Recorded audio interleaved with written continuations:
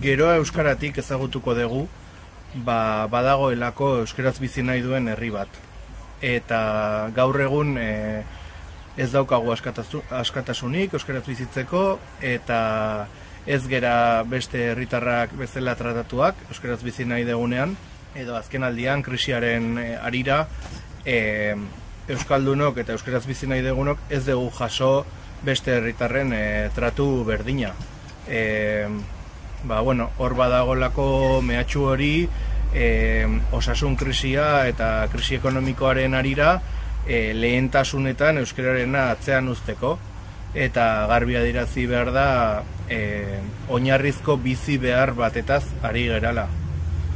Baina bestalde geroari begira badago badago konbentzimendu bat eta badago euskaraz bizi nahi duen herri bat eta gainera euskaraz bizitzeko alegin hori izan daiteke bestelako gero baterako eta bestelako etorkizun baterako atea.